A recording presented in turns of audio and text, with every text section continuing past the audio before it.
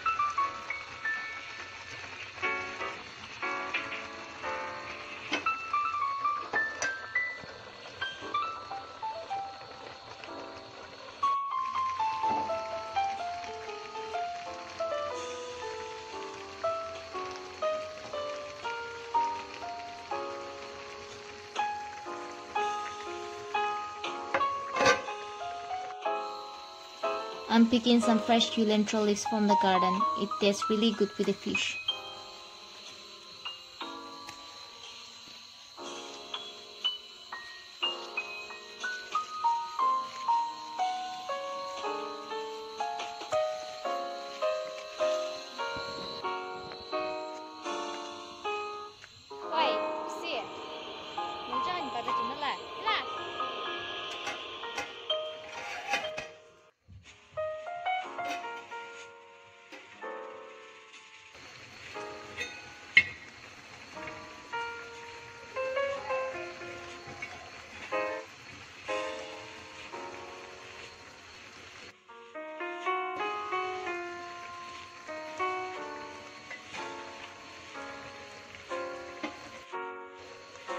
Can smell my curry even from the outside. It smells so good.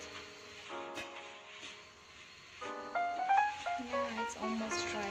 It to have a little gravy, so I'll just put down the flame.